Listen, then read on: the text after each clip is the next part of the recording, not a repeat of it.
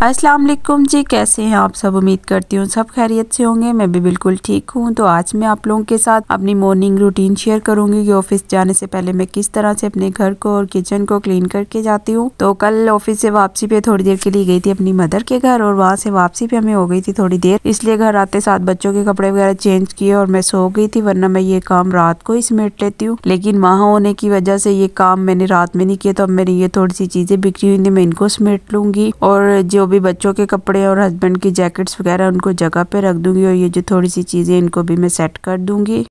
सर्दियों में तो वैसे भी समझ नहीं आता कि चीज़ों को कहाँ पर समेट के रखें, कहीं पे सॉक्स पड़े हैं कहीं पे शॉल स्वेटर्स समझ ही नहीं आता कि चीज़ों को कहाँ से समेटना शुरू करें और कहाँ से ख़त्म करें। तो यहाँ पे सारी चीज़ों को कुछ समेटने के बाद मैं सबसे पहले झाड़ू निकालूँगी। ऊपर वाले पोर्शन में या डेली सफ़ाई करने के बावजूद बहुत ज़्यादा यहाँ पर डस्ट हो जाती है तो इसलिए मैं इसको वीकली वॉश करती हूँ। डेली ही इसको झाड़ू के साथ ही मैं क्लीन करती हूँ। उसके बावजूद आप लोग देख सकते हैं कि कितनी मिट्टी है, खुला है। घर होने की वजह से काफ़ी डस्ट नष्ट हो जाती है।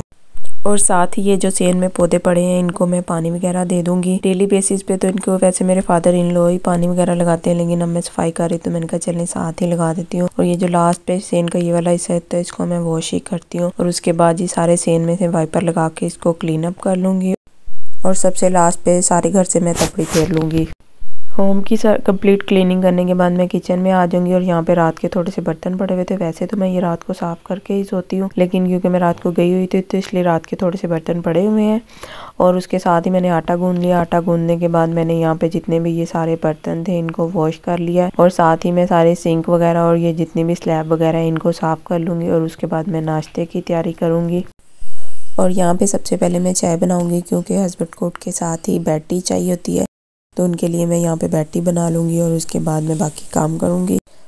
और यहाँ पर जी अलहमदिल्ला सारा घर क्लीन हो चुका है, सारे घर की सफ़ाई वगैरह हो गई है, जो डस्टिंग का काम है, वो मैं शाम में ही करती हूँ, इसीलिए मैंने डस्टिंग नहीं की अभी। अब वो मैं इंशाल्लाह ऑफ़िस से वापस आके करूँगी और यहाँ पर जी सारा किचन भी क्लीन हो चुका है और घर भी क्लीन हो चुका है और बच्चे जो है मेरे, वो अभी तक सो रहे हैं। अब मैं इनको उठाऊँगी और उसके बाद जी नाश्ता वगैरह बनाऊँगी, ताकि हम सब गर्म गर्म नाश्ते को इंजॉय कर सकें और बच्चों को उठाने के बाद उनके कपड़े वगैरह चेंज करने के बाद वापस आ गई हूँ मैं किचन किचन में और अब सबसे पहले मैं बनाऊँगी अपने फादर इन लोग के लिए नाश्ता, उसके बाद बच्चों के लिए और हस्बैंड के लिए बनाऊँगी। और यहाँ पर जी बन गया है फादर इन लोग का नाश्ता और मैं इनको दूँगी नीचे वाले पोर्शन में और फिर आके बाकी काम करूँगी।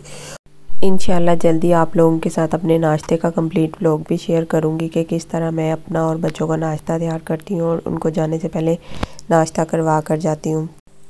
अगर आपको मेरी वीडियो अच्छी लगे तो मेरी वीडियो को लाइक करें, शेयर करें, मेरे चैनल को सब्सक्राइब करें। Thanks for watching. अल्लाह हाफिज़।